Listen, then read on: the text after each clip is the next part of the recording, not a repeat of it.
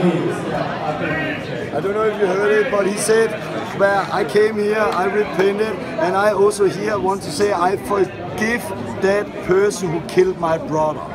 And, and this is what came out of him, and he's not the first one today who actually had a brother who got killed.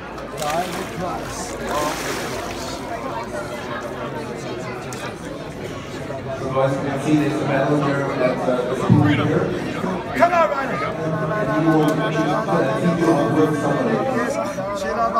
It out, let it out, let it out.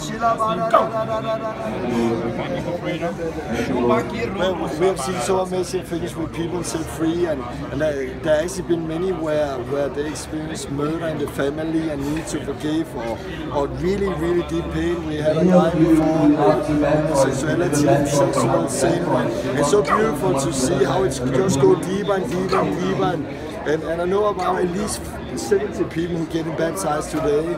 So it's a good day and people just keep running in. So this is what we have been doing. As you see here, God is going deep and people are speaking tongues. We did not speak tongues before either. So this is what we are doing oh all over the place. We love it.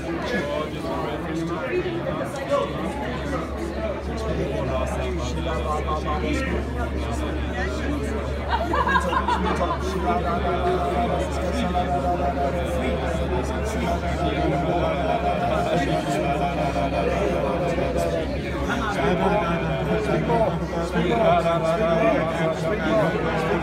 It's going deep, the Holy Spirit is working, there's healing, there's freedom. It's a disciple of Jesus, a new life to follow Jesus. The Bible says repent and get baptized and you shall receive the Holy Spirit. This is the promise of God. And it's so important, here there is some forgiveness that needed to happen at the same time and there is freedom in that, the healing that. So, so it's a new life, it's washed away of sins, but it's also it's, it's healing at the same time and freedom from hurts and other things.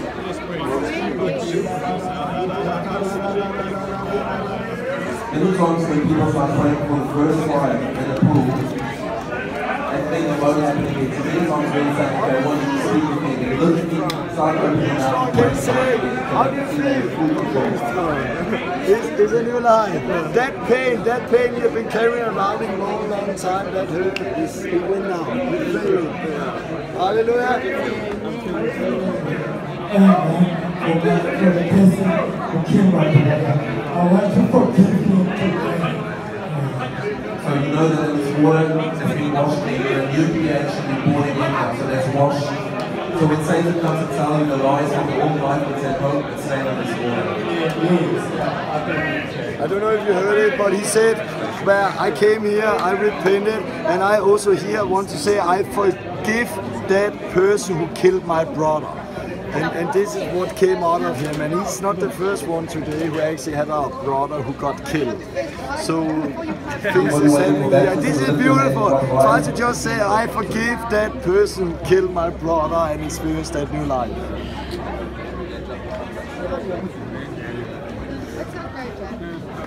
We're very happy for you, okay? He said